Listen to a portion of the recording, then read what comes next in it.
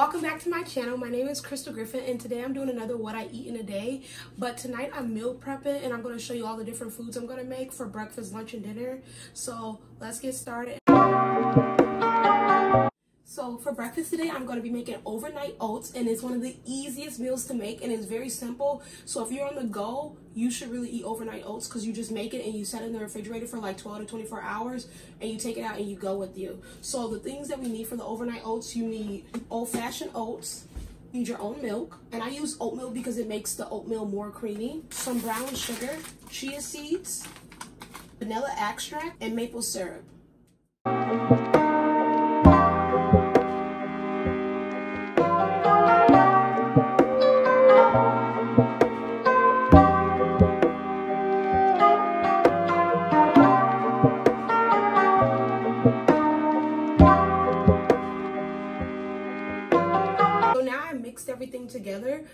Sit in the refrigerator for 12 to 24 hours whenever I wake up. And I'm going to eat this with some bananas on top. But you can make overnight oats with anything. You can do pumpkin pie spice. You can do cocoa powder, make it chocolatey. You can make overnight oats any type of way. So I really do recommend this one because it's really quick. It took me about five minutes to make and then it, you can take it on the go. So, so this is what the overnight oat looks like. It's super thick. I gotta stir it around and then I'm gonna plate it. So this is the final product of the overnight oats. I have bananas on the side, cinnamon sugar, and um, brown sugar on the other side. It came out really well. I can't wait to eat this. I'm super happy. So if you like this, please continue for lunch. For lunch and dinner, I have a lot of vegetables. I have to clean and cut. I have broccoli, zucchini, bell peppers, cilantro, green onions, real bell peppers, kale. I have a lot of vegetables in here and I have to prep them all for the week. So for lunch today, we're gonna be making stuffed zucchini and stuffed bell peppers. And you can make this as a low carb meal or a whole food plant-based meal or just a vegan meal in general. The low carb way is that when you just use ground beef or ground turkey, but eliminate the rice. And then the whole food plant-based or vegan way is when you add the rice, you can add quinoa, you can add vegetables, and then you um, bake them. So the first part is that me and my mother are gonna cut up the zucchini and cut up the bell peppers to get them in like a boat form so you can stuff them. And then we're gonna bake the bell peppers and the zucchini on like 400 degrees for about 30 minutes.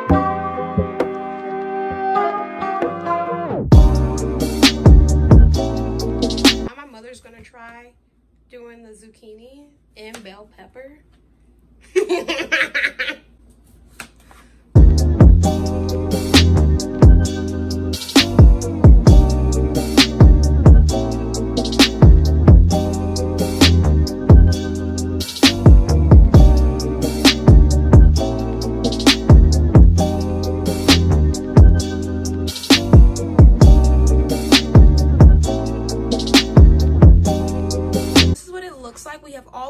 peppers and zucchinis cut in half and as a boat form so we can stuff them but we're about to bake them first with aluminum foil on top on 400 degrees for 30 minutes so now I'm gonna make the stuffing for the zucchini and the bell peppers. And what I use is the Smart Ground plant-based crumbles. And these are literally so good. I literally put these on pizza and I use it as like a ground beef. So I'm gonna add this as like our meat substitute.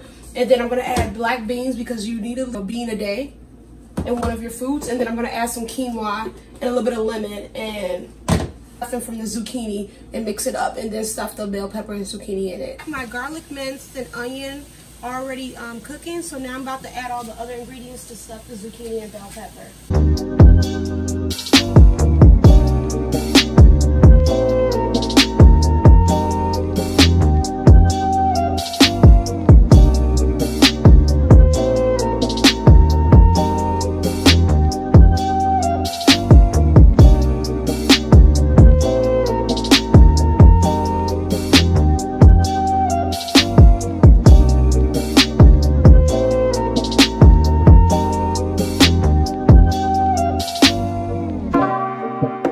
Bell peppers just were cooking for 30 minutes in the oven. So, and they're starting to get a little crispy around the ends right here. So I'm actually gonna like put them back in there for another 30 minutes. I'm super excited. I've been cooking these bell peppers and zucchini for an hour now and they're starting to get crispy. So now I'm about to stuff them. My family really loves this extra crisp on them. So I'm so happy with the way it came out.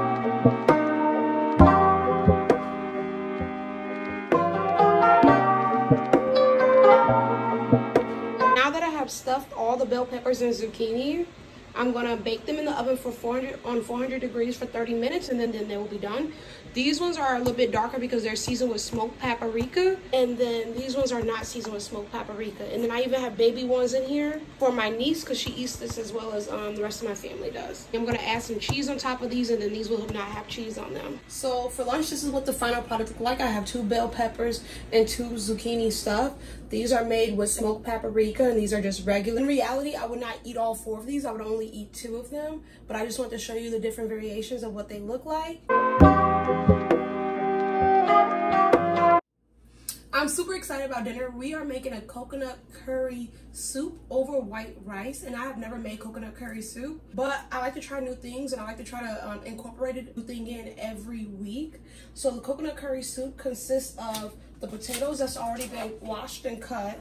We have Yukon potatoes, corn, green onions, cilantro, we have some limes, red bell peppers, zucchini, coconut milk, curry red paste, soy sauce, chili garlic sauce, but this is extremely hot, so I literally only use like a teaspoon of this garlic sauce and then some brown sugar at the back. We're gonna mix all of this into the Instapot and cook it for about 10 minutes, and then that's that's how quick this soup will be made.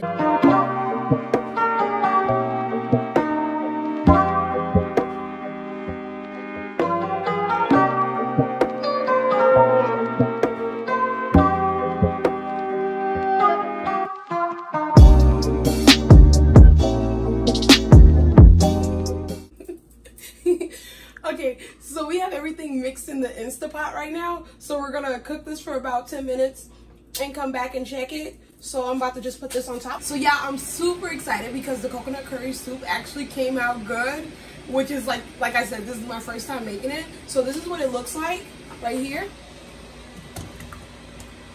And I did not cook the zucchini with the um, soup because the zucchini cooks too quickly for me and I still like that crunch in the zucchini so I'm about to add it in the soup since the soup was already done. After the soup was done I did add some additional seasonings. I added the garlic pepper seasoning and the lemon pepper seasoning. Then I added some more garlic powder and onion powder. The only thing I would do differently is that I cooked up this soup on 10 minutes I would actually cook this soup the next time I do it on like seven minutes because the potatoes really cooked down and made more like a soupy mix and I would rather have the potatoes whole. But for my first time making it, I'm like super excited because it really does taste good. Even though it's not the most aesthetically pleasing soup, it is really, really good. So I'm gonna show you the end product very soon. Okay, so this is what the final product ended up looking like. I eat a lot, so that's why there's so much soup in here. But yep, this is the final product and I'm going to enjoy this for dinner. This is the end of the what I eat in a day and I'm just so glad that you stay tuned and watched my breakfast, lunch, and dinner.